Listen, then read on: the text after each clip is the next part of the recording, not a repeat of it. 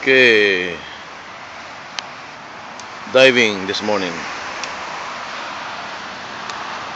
Ronnie, what kind of fish you gonna be catching? Containers. what kind of fish you gonna be catching? Huh?